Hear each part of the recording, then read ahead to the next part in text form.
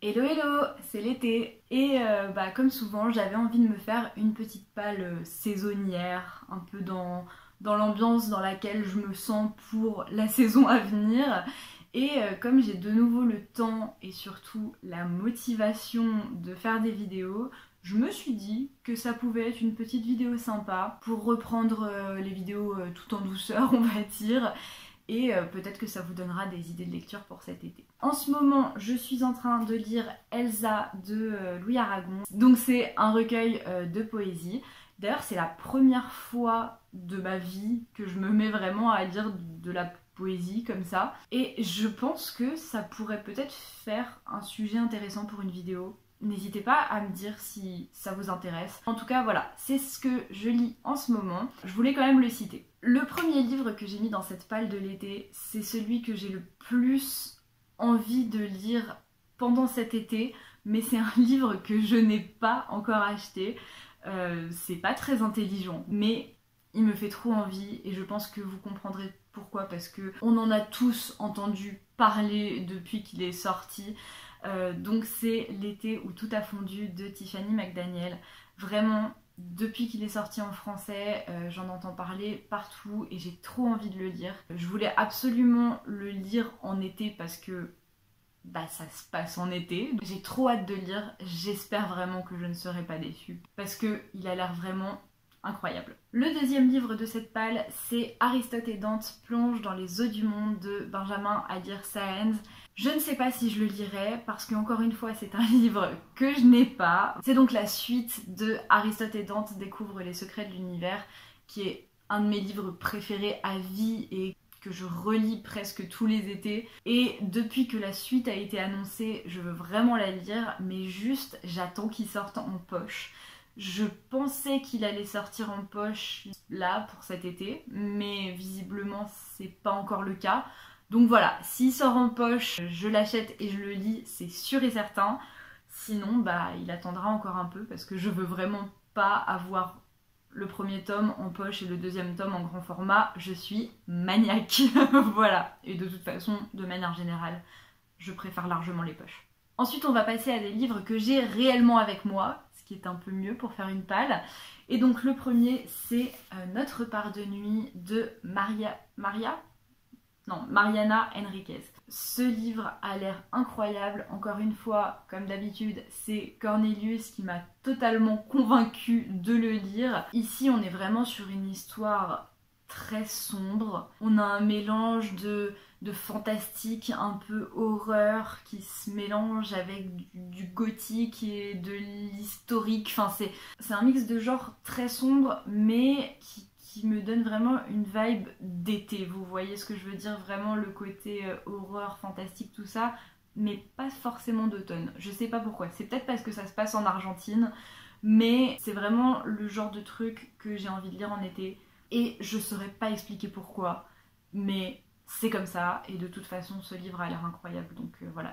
Il fait chaud C'est terrible Ensuite, un livre que j'ai dans ma palle depuis beaucoup trop longtemps, mais peut-être je vais enfin le lire.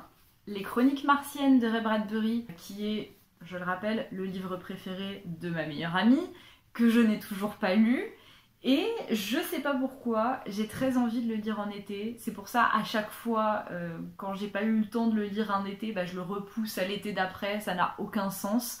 Mais voilà, c'est peut-être à cause de la couverture rose là, avec cette espèce de station-service. Mais j'ai envie de, le lire en été.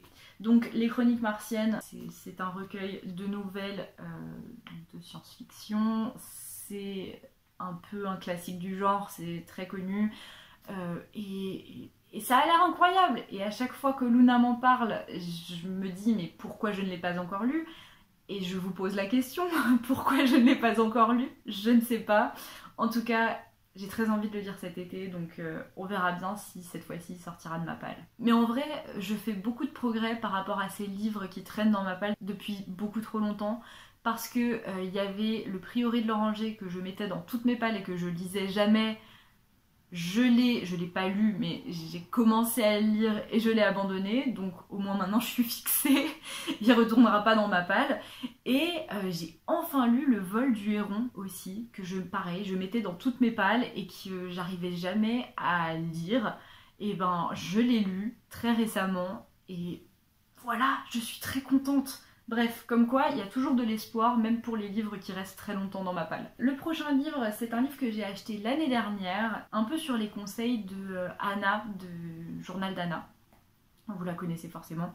Donc c'est le livre jaune de Michael Rock. Rock ou Roche, je ne sais toujours pas. C'est un petit livre euh, qui me donne vraiment une vibe un petit peu à la mer sans étoiles. Mais ça c'est peut-être parce qu'au début il y a une histoire de pirate au début de La mer sans étoiles, il y a aussi une histoire de pirate.